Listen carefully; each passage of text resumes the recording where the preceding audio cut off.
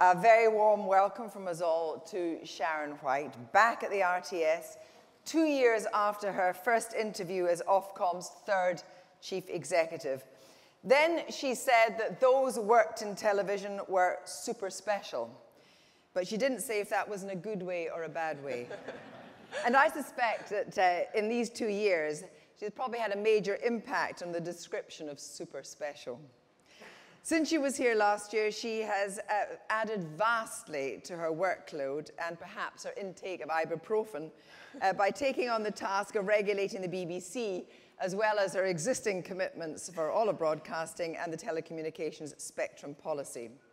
Now, a big part of her remit is diversity, and two years ago, Sharon said that the media was less diverse than Whitehall or even the Treasury.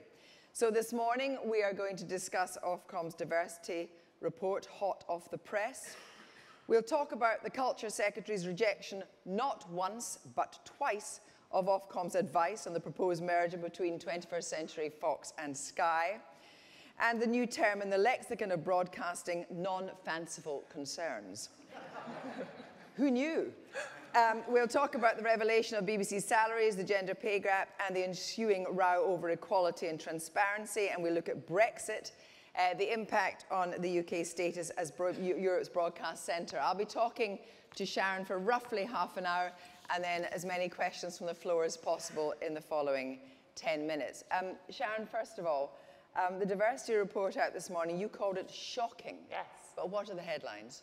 Um, first of all, it's fantastic to be back. Um, I think what the report does is set out, I think, a very compelling but also very tough challenge for the whole of the industry. And I think two big messages. One, actually just the paucity of data. You know, too few broadcasters are actually routinely monitoring the makeup of our workforces. But secondly, to be frank, the information we do have shows shocking, woeful, choose your adjective, shows a, a, a, significant underrepresentation, whether it's women, whether it's uh, disabled people, people from an ethnic minority background, particularly at uh, senior level. And I think any of the broadcasters worse than the others? Uh, so, you know, you'll see from the report we have we picked out particularly the the the, uh, the five uh, biggest employees. Channel 4 actually does uh, well. The BBC, interestingly, I mean, the UK's national broadcaster um, is in the middle of the pack, and, and actually I believe the BBC really ought to leave, be leading the pack. But I think for all broadcasters, there are two big uh, priorities. Firstly, uh, actually, to get to a place where we are all routinely monitoring, measuring the, the, the makeup of our workforces. But secondly, particularly for you know, broadcast chiefs in the audience, we need to take responsibility at the top of the organisation to set targets and, and take action. Uh, there was a, a scurrilous rumour um, going around the BBC uh, on the question of ethnic diversity that the first time uh, the BBC submitted figures, it had the whole of World Service and it looked fabulous. So you'll be interested to see our report takes out the World Service from the BBC's numbers. It's all, it's a great thing about being a regulator. We've, we've set consistent standards. So the, so the figures today showing the BBC in the middle of the pack, not leading the pack, actually are without the World Service uh, numbers. Uh, just sticking to the BBC, in um, Karen Bradley's uh, revised list of your homework that she gave you in uh, July, uh, she seems to be entirely in tune with Lenny Henry, that you can't just be looking at on-screen um, ethnic diversity. You have to be looking at off-screen, because if you don't look at off-screen, then the people that are making the decisions will forevermore look like this room. As Greg White said, as Greg said, hideously white. Yeah, so we've, we've set um, tough on-screen targets for the BBC. I mean, I agree with Lenny that it's important not just for the BBC, but for all broadcasters to set workforce targets. I've set them myself for Ofcom in the last two years. The, the issue that we're working through carefully, and these are proposals and we'll be finalising over the next few weeks, is whether the BBC should be setting workforce targets. David Clementi is the chairman of the board setting workforce targets with us as the regulator coming in behind and taking, holding the BBC to account or whether the BB, whether Ofcom as the regulator should be setting the BBC's workforce targets. And that's the issue of the debate. But surely it would be better for the BBC to set its own targets. I mean, you know, Ofcom essentially that's not, is that really your job? So that's, so that's our current proposal. Our current proposal, which has been the subject of debate, is that the BBC sets its targets, and the BBC now has, and that our job is to shine a light of transparency as to whether the BBC is delivering so, or not. So, I mean, in, in the report this morning, you talked about the fact that I think it was like 57 broadcasters didn't even submit anything like nearly enough data. And then you're asking the Secretary of State for additional powers. Is it additional powers to collect data or additional powers, as it were, as, the, as Karen Bradley wants to do, as in the BBC, of finding the BBC if it doesn't have enough religious programs, children's or whatever? Do you want to do two things? Do you want to be in a position to come down hard if you don't get the data? And then, in terms of the BBC, what would the action, the punitive action you would take if they don't actually do the work? So, our big priority is the, is the information and transparency. So, the issue at the moment is, as a regulator, we have got the powers to require all the TV broadcasters who hold a license with us to provide data on gender, disability and ethnicity. We don't have the power, we ask and it's voluntary, but we don't have the statutory power to ask for data on the broader set of um, makeup, so whether that's sexual orientation or age. And so I've written to Karen Bradley to say, we want to get as much information out there. We believe in the power of transparency and therefore accountability. Can you please give us the powers to collect more information? There's then the question about, well, you know, we ask for the information we don't get it back. What do we then do next? And for the 57 uh, broadcasters, as you say, who provided us with no information at all on their workforces, we are, you know, in, in, the jargon of my previous life, writing stiffly worded memos, but we will take enforcement action if we need to. But what is that enforcement action? So at the moment, I hope to get to a position where uh, where uh, setting out that we could take sanctions will be the incentive for the broadcasters to say, look, actually we've seen the report today. We think that actually having the transparency is incredibly important and that next year the data is in a, in, a, in a better shape. Yeah, but that's that. But then if they do come up with the data and actually they're doing insufficient work on diversity, you don't have any big whip. So it is a condition of any broadcaster holding a license with us that they have got to have a plan in place to improve their diversity. Now, I don't want to get to a stage, I mean, this is a collective effort for the whole of the industry. I don't want to get to a stage where, as the regulator, you're, you know, cracking a whip uh, because I believe that the whole industry ought to be looking at the report today and saying, my God, this is a wake-up call. This is a challenge for all of us, and actually the incentive should be there for every broadcast chief to come forward. But we do have powers to enforce if, if, we, if it gets to that. But the, the, the problem with all this is there's one kind of diversity that you can't automatically see, and that is the diversity of class.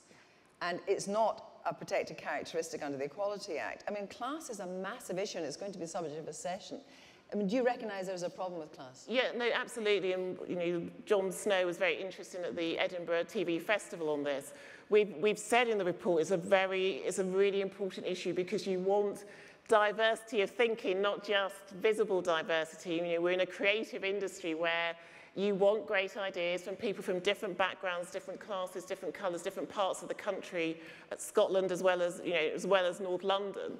And uh, we have said that next year we're going to ask the broadcasters to start thinking about providing us with, with more data on social class so we can start to get a, a better collective understanding of, of where we currently sit. But what, what were the indices? It's such a complex issue. I mean, it's, uh, you know... It's complex, but it's not impossible to do. So there are other sectors that already collect very robust information on social class. Some broadcasters, the BBC actually has already started to do some work on this. So I don't think there are I don't think there are uh, insurmountable obstacles to us having a clear view in a year's time at the next RTS as to how we, how we compare in terms of social class. Um, also what you have in the, um, in the diversity report as well is you just make a quick comment about uh, unpaid internships and you want them to end. Yeah, so um, I think it relates very strongly to the class point. Um, you know, the media is an industry in which uh, it can be who you know, what are the networks. It's not necessarily criticism, it's the way, particularly if you're in a small company, uh, people may feel it's the easiest way to, to employ and bring people on. Unpaid internships, in my view, have the strong potential to reinforce and propagate uh, inequality and the disjuncture between the, the social class of the media and the audiences that we're serving. And actually a number of broadcasters have already taken the step. I think about Viacom's done some great work in moving to paid internships, moving to a more, uh, more structure in terms of the way in which they hire, Channel 4 setting aside places for disabled people. So I would love to see a position in which we no longer have unpaid internships uh, in, in, the, in the TV and radio industry. Well, would you lobby to have them outlawed? I'm, I'm, I, um, I'm not going to, I mean, I guess there'll be an issue for Karen Bradley this afternoon. I mean, I think part of the conversation today is for each broadcast chief to take a look at her or his organisation and to say, we're not doing well enough. And actually unpaid internships, unpaid internships move into a more open, more meritocratic way of bringing people into the industry and then moving people up could be a, a transformative way to, to make faster progress. Um, should we now move um, to uh, the Sky Fox uh, merger? God, you and Karen have a lot of correspondence, don't you? um, you can imagine my summer holiday. Well, let's talk a bit more about that. Um, Ofcom said about the merger, not, not about plurality, but about the whole question of broadcasting standards, we consider there are no broadcasting standards concern that may justify a reference. Not once, but twice has Ofcom been slapped down on this, which leads to the question, what is the point of view? Not personally. That's a, that's a very... What, not a point, not personally. What is the point? I mean, you're an independent regulator. You're asked for advice. Uh, you don't work for the government. You work for Parliament. And not once, but twice have you been, has your advice been rejected? What do you think about that? So it's interesting. I don't see it uh, quite like that. So the, the way, funnily enough, because otherwise my children may be out of food and shelter over the next year with no it's job. okay. There's, there's obviously, you know, there are other, other, um, other, other, other lines of work. Um, so the, the, the, way the process is, well, we've given our advice, mm -hmm. and um, you know, we've gone through, as you can imagine, uh, those of you who've been on the Ofcom website to read the correspondence for yourself. It's been a very, very careful, detailed um, process. And the way in which the system works is that the Secretary of State has got She's got statutory discretion. She's the decision taker. And she's decided actually this morning. And she's decided uh, some of... Not, she's not of, minded to anymore. It's happening. She's made her announcement at, at all rules today. And, and that's how the process runs. And I, I think what's great about it is that there's transparency. So it is absolutely clear at each stage uh, the exam questions that we have been set, but also the advice that has been given. And as you say, we did advise that, there, that there, were, there was enough evidence to justify referral on media plurality, but not on the, the broadcasting standards consideration. Um, she suggests that Ofcom should have reviewed Fox News content looking for possible breaches that were not the subject of a complaint. So what do you think about that idea that you go trawling through programs? We, we, we are in, in the jargon an ex post regulator in that we, uh, the session this morning on news was, was a good illustration of that. So we regulate uh, programs as they're shown, although we do some ongoing monitoring. I think my broader point is that we, uh, we took the utmost care. Um, it has been a very, very detailed, very rigorous process.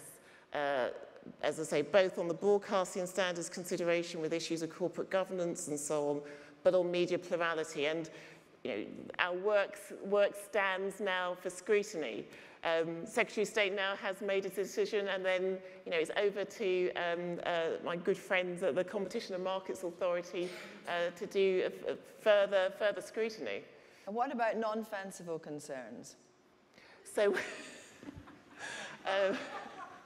So I just sort of, I'm trying to remember my summer holiday conference calls from France on, uh, on uh, much of this. So we, we said that there were, on the, this is on the broadcasting standards consideration, we said that, that there were non-fanciful concerns in the jargon. Um, but from our review and our detailed scrutiny of all the evidence, um, our clear advice, we're not the decision taking, our clear advice was that those non-fanciful concerns did not uh, justify uh, a, a, reference. Now, on the question of impartiality, I, I'm just trying to remember exactly how I read it, but Karen Bradley said that she was not content with the code. She thought there was an extra thing that was the spirit of impartiality, uh, which was not covered in the code.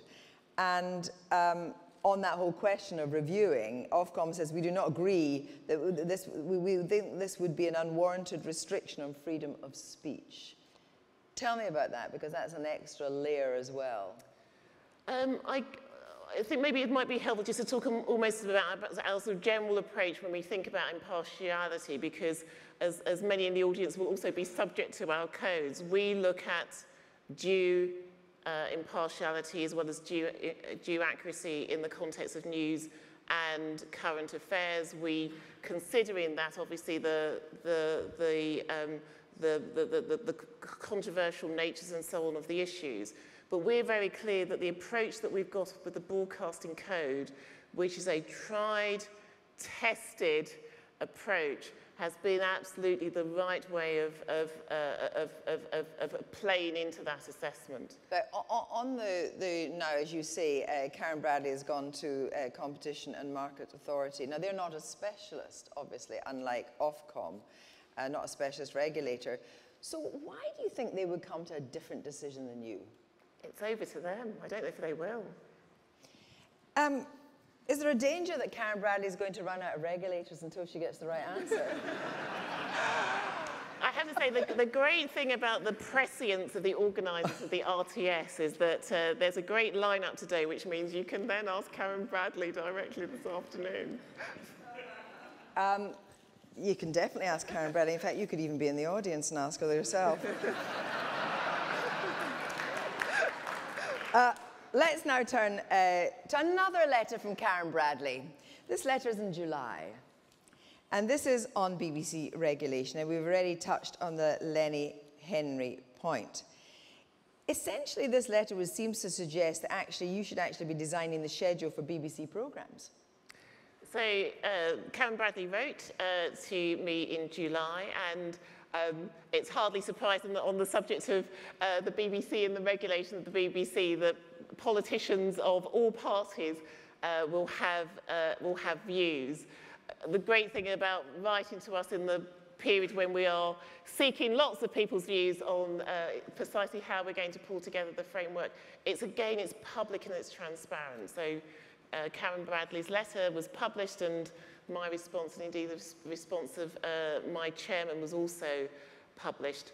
Um, we're seeking views, and as a regulator, an expert, independent regulator, the decisions that we take are independent of both political influence but also commercial influence, and I'm comfortable that will remain the case. So basically what you're essentially saying is that a letter from um, the cultural secretary, cultural secretary will be treated like a letter from Mrs. Smith from Birmingham.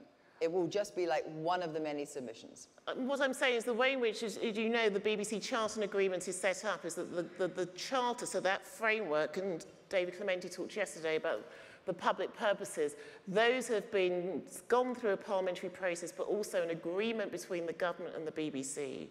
And, I, and what I'm saying very strongly is that when Ofcom as an independent regulator uh, taking the job of being accountable to Parliament very seriously, when we take our decisions on how we put that into practice, we do not, we, are, we do that without political influence or pressure. But do you get the sense, um, I mean, and you're absolutely right, you know, you're appointed to be the independent regulator, the BBC deemed this to be an independent regulator. Do you get a sense now that the Secretary of State is trying to interfere in the process? No, not at all.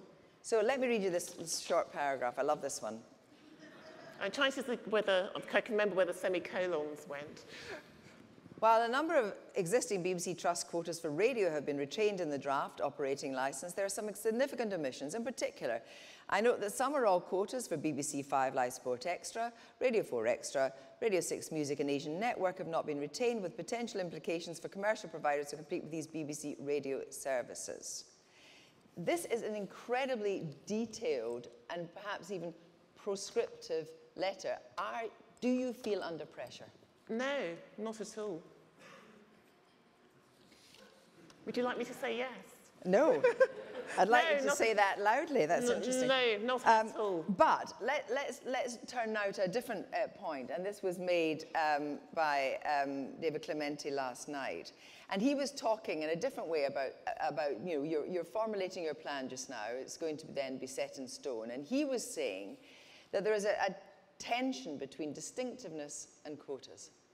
So um, if you regulate, essentially if you regulate for quantity, the danger is you won't get that quality and distinctiveness. And his actual quote was, a charter which places distinctiveness at its heart and then breaks it up with a license full of hourly quotas is a contradiction that is likely to lead to failure. Do you recognize that? So I don't see that trade-off, and I, I know it's a, it's a point of uh, current discussion between us and the BBC. I think it's worth, it's worth just remembering why Ofcom has been appointed as the first external independent regulator of the BBC, and it's because the, the system that we had previously, I think general wide agreement was failed, felt to have lacked, been lacking, because there was this fuzziness between regulation and governance. And I think I'm very conscious that as the regulator of the BBC, I don't want to be the person who is determining with thousands and thousands of targets uh, the TV and radio schedules, which was why we're focused, I think, on the critical conditions, more demanding conditions that will support distinctiveness, quality and diversity. And I don't see a contradiction between um, uh, more hours of production, particularly in the nations, which is part of this debate, and distinctiveness. But let, uh, let, us just go back to your own toolkit for a minute, because um, you had to really um, scale up to take on the BBC. And do you, I mean, the, the rule for distinctiveness, I mean, it, it, is it is sometimes very subjective, and I just wonder whether Ofcom is really um, qualified to look at distinctiveness. Um, although the BBC is a new responsibility, we've been regulating the rest of the broadcasting industry for years, and um, some of my colleagues are in the audience. We've, we've, I believe, got a wealth of experience and expertise. As you say, distinctiveness is subjective, and that's why, as a regulator, we are evidence-based and why the, the, the, um, such a focus for us is understanding what audiences, viewers and listeners think. And when we asked them about distinctiveness, they said, we want to see more UK-originated programming. They're worried about what's happening with children's TV. They want us to address some of the decline on arts, music and, and religious programming. And that's what we've reflected um, in, in the operating licence, being very conscious of what the Charter and Agreement sets as the BBC's public purposes. And what about the fining system? So um, it, we formally are able to fine the BBC £250,000 if there is a, a breach in one of the conditions that we set. We're five months into regulating, we haven't even set the framework, so we will see, you know, I'm, I'm a glass half full uh, person, and I think there is a, um, there's a really effective new regulatory regime where the BBC sets out its creative plan and the, and the Ofcom comes in and in a transparent way is able then to measure it, its progress. Can we just turn uh, to um, the B BBC gender pay gap again and talk uh, about uh, the announcement that was made about the salaries? Are you surprised at the gender pay gap revealed in the BBC list of payments? Am I surprised? I guess I was surprised by the extent, um, and you know, it's you know, it clearly isn't right uh, that men and women or people from different backgrounds are paid different rates um, uh, simply because of, of, of, of, of their gender. The pay, pay is not, a, it's not an area where Ofcom has got a, got a locus, but it's an area, certainly we as an organisation have, have been working very hard uh, to address some of our own gaps, and it's clearly, a, it's, it's, it's clearly an issue that's been very sensitive and controversial. It is sensitive and controversial, and I wonder as well about transparency and yes. clarity and, and, and equality in the eyes of the law. Yeah, I think what's, what's really striking for me from this debate over the last few months is what it says again about the importance and the power of transparency. And it's, I sort of see, I guess, a sort of analog between uh, the, the, the, gender pay uh, data information and what we're trying to do on diversity. You can't fix what you don't understand. And I think transparency, I think, is incredibly important, will be a, um, you know, some people fear transparency. I personally think transparency creates trust, you know, with your workforce, trust with uh, the public. And it's one of, I think, our most important tools in, in, in our role with the media sector. Um, now turning uh, to Brexit, uh, what worries you most about the impact of Brexit on broadcasting? Um, so as a, you know, as, a, as, a, as, a, regulator, we have no view on uh, whether Brexit is a good or bad thing. But having taken the temperature of um, the industry in recent months, the issue that sort of uh, flashes red um, within my remit is the country of origin principle. So you know, we've been very lucky to have lots of broadcasters based in the UK who don't necessarily broadcast to a UK audience, um, but are here because we have got also a reciprocal arrangement in terms of recognising each other's uh, standards. So that's something we've obviously been discussing with the government, making the argument, making the case, and I think it's understood, but it's obviously a, a, a subject of, of the negotiations. Yes, because it's, you know, it's, you know, it's Disney, it's Discovery, it's yes. NBC, it's Universal, who may well up sticks to Amsterdam or Paris or wherever, if the Ofcom license is no longer recognised in EU countries. And that's incredibly, presumably, you know, whatever you think about Brexit, detrimental to, what is it, five billion pounds to the British economy. I agree, and that's why of all the of all the sort of regulatory issues, all the issues on in my in tray on Brexit, the country of origin principle is the single most critical one. We don't want to see. But if we're outside the single market, that has to die. Well, I mean, we'll see how it how it unfolds. For us, at the moment, we are doing everything we can to represent the voice of the industry with government in terms of um, uh, making the case for the country of origin principle featuring high in the negotiations. But what also about um, you know, the, the, the, free movement of talent? I mean, that's not you know, clearly uh, it's, a, it's, a, it's, a, it's a big issue for the industry. It's obviously not an area that comes directly uh, into, our, into our purview, but it's, it's a, uh, it's a concern that we hear a lot in all the discussions that we have with both the media side, but also actually got Virgin here today, also on the, on the telecom side of our work. Um, also, when you were here two years ago, um, you said that uh, you used to do your homework to a background of EastEnders or a variety of soaps. Uh, and I wonder now that you are the chief executive of Ofcom, uh, what's on in the background when you're doing your homework? Funny, my mother was a great, um, my mother was completely obsessed with Coronation Street and uh, uh, Crossroads and EastEnders for years. And I got to the stage where basically I'm unable to work without the TV in the background. And uh, it's been replaced, the last few months my husband and I have been watching, in fact re-watching probably for the fourth time, um, box sets of Line of Duty. Right.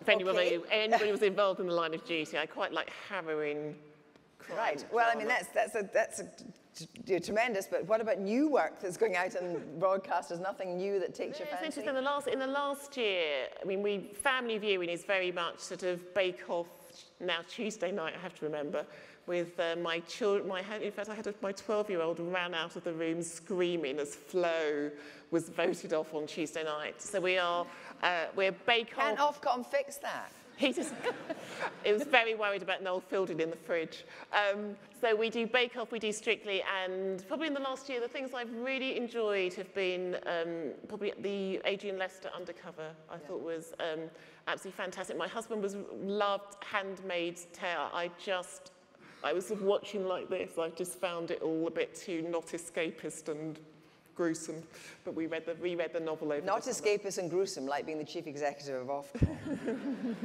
Not quite. Anyway, we have indeed 11 minutes and 54 seconds. I'd like the audience lights up, please, and let's have questions, please, from the audience. Question straight away. Who's got their hands up? Yes, front row here. Can we get a, a microphone down here at the front row? Thank you. If you just say who you are before you state your question. okay. Deborah Williams, the Creative Diversity Network.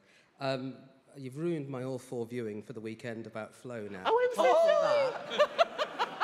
But aside from that, no, it's fine. It's all right. I'll let you off. It's okay. We had a long debate as to whether Flo was. Did anybody watch last year whether Flo was the new Val? See, That's basically go. been my conversation Exactly. for the last 48 hours. Sorry, that's not my question. I'm question. so, I'm so sorry. Uh, that's not actually has nothing to do with what I'm going to ask. So, okay, so um, uh, as you're aware, we, we produced the um, first Diamond report uh, about a month ago, um, and I s- wanted to know uh, whether or not you thought there were synergies between the, the data that we produced and what you've produced this morning, and whether or not we should be working closer together to get the um, industry uh, slightly more aligned around how it collects its data and represents itself.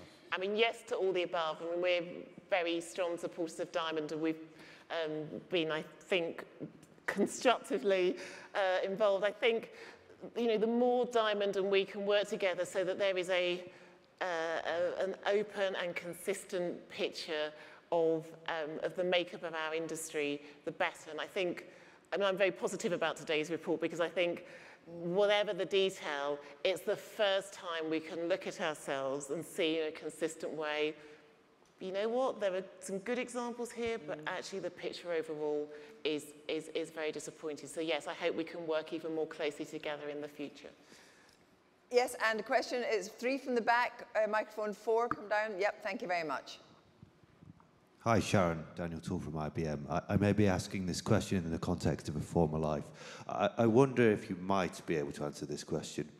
Um, in the context of plurality, in the UK context, how do you view plurality across multiple channels versus a single channel? Uh, and I'm trying to ask the question carefully, given the context. Gosh, I'm not sure I understand the question. Um, in the US, you have plurality but polarized views in broadcasting, if I'm oversimplifying. Oh, you mean on, in, Yeah. in terms of impartiality? Yeah. Yes. Does it need to be on a channel or just in the ecosystem? Um, I mean, obviously this is... Well, fo- It's, it's, it's, it, I'm a bit constrained in what I can say, obviously, because of the, Go kind- on. the current process. Um, but I think what's, uh, I say, what, probably, maybe if I focus on the thing that has been most interesting to me in the work that we, the sort of evidence gathering we did on media plurality in the UK, and obviously we looked at every platform, TV, radio, newspapers, online, is the extent to which the, uh, the content online is actually coming from the traditional uh, broadcasters. So on the one hand, obviously, there's this, you know, there's this huge and growing ecosystem. At the same time, what the, what the expansion of digital viewing has done has actually been to, to some degree, to reinforce the traditional broadcasters, traditional broadcasters subject to impartiality code, as well as, as, well as the um, traditional newspapers. And that's, if that's an partial answer, that I think has, has been a very st striking and, to me, unexpected um, uh, finding.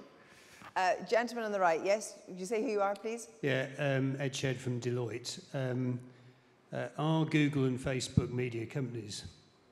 I think they are. And do they need to be regulated? And if, you know, and, and in what kind? So I'm, uh, I, I don't think regulation is the answer because um, I think it's really hard to navigate the boundary between regulation and, and, and, and censorship of the internet.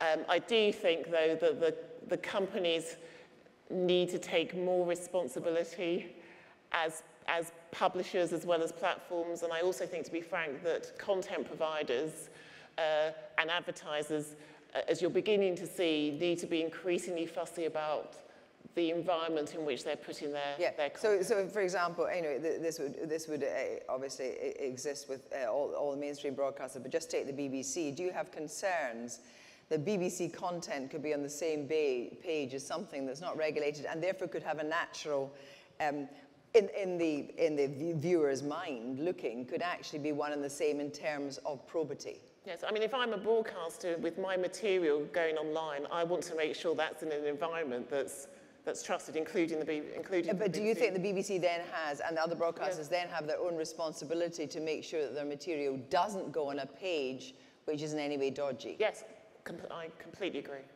And I think that's part of the drive actually to, to I, I hate the term fake news, I prefer it, you know, can you trust it news. But I think that's absolutely the drive, not regulation, but the pressure from the content providers. Uh, questions? There was somebody up the back there, but I missed them. No. Uh, yes, yes, right beside you, a lady there. Yep. Hi, Katherine Rushton from the Daily Mail. Um, yesterday, Sir David Clementi said that uh, the target to even up gender pay um, was, I think, not a legal requirement but an aspiration. This morning, the BBC's been trumpeting how much better it's doing this year than last year um, and sort of diminishing the problem. Do you think they've really taken it to heart and got a handle on it? So gender pay, you'll be pleased to know, is not us because um, actually all the, the, the transparency on gender pay was a very specific agreement between the government and the BBC. I think what our report on the workforce shows today is that there is definitely more to be done for the BBC to be leading the industry. They're not there yet. And of course, there is the Equality Act. Absolutely. Um, there was someone else's hand. Yes? No, Katherine Rushton's done. Uh, anyone else? Yes, up at the back on the left, number four, microphone, please. Thank you. Could you take it? Thank you. Hello, uh, Wilfred Genève from D. Shaw. Um, how much assistance is Ofcom going to provide to the CMA as it reviews broadcasting standards, which is not something the CMA traditionally does?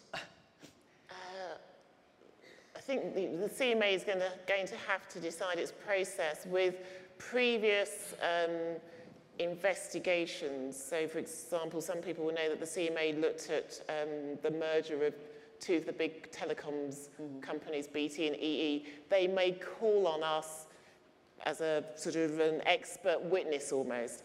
But how that process is going to run, uh, we don't know. And you wouldn't do any extra work, given all your work is out there, all your workings are out there. And why would you? I mean, they would have to pay you, wouldn't they? First of all, you want me out of a job, you want my sh- regulator shut down, and now I'm going to be paid twice. I think this is, the, the, the conversation is going much better. Okay, uh, microphone two coming up now. Thank you. Uh, thank you. Uh, Alex Wilks from Avaaz. I'm curious to know what you think of uh, what's happened with Fox News in this country recently. I understand that um, James and Lachlan Murdoch had a meeting with you in May where they said, here's a compliance policy, we're going to make Fox News, News compliant with our broadcasting standards. And then last month they withdrew Fox News entirely from UK screens. I wonder what you make of that. You'll have to sort of bear with me, given this is, an, this is a process that's, that's, that's now going on. I'm sort of quite limited, given you know I, I can't prejudice that. I mean, obviously, Fox News is no longer we no longer have a license uh, at, at, at their request. It's a commercial decision. It's a commercial decision for them. And obviously, um, Karen Bradley is concerned about what is called foxification.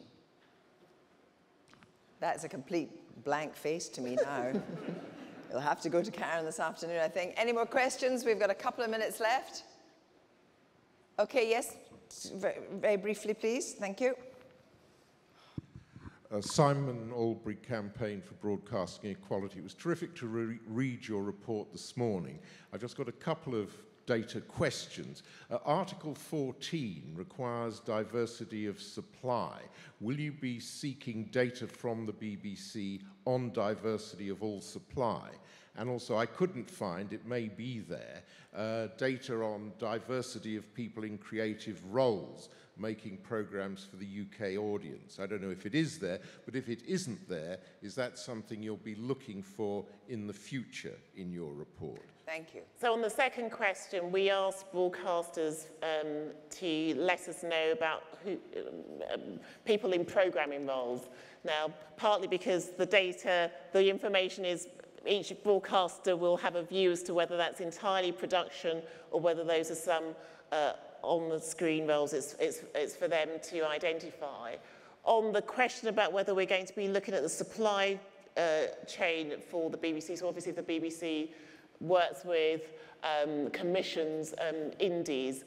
Uh, what we've said so far, and it's, it's, you know, it's the subject of the consultation before we finalise the, the, the, the exact conditions, is that we will be very interested and will set as a condition uh, uh, the BBC contracting, commissioning with producers who themselves have got a diversity plan, both on screen and off screen. Any more questions? We've got time for just one more. Yes? Up there, please. Right. Joe Mayes from Bloomberg. Um, Ofcom faces a, the prospect of a judicial review over its fit and proper ruling uh, on uh, Fox as a, as a media owner. Um, to what extent are you concerned by that prospect? If I told you how many uh, uh, uh, items of litigation across the full panoply of Ofcom's work, uh, it, I, I take the fact that we make decisions, they're public, um, there is a parliamentary accountability, there's public account accountability, there is scrutiny through the courts as the, as the system working. Ladies and gentlemen, let's give a very big thank you to Sharon White.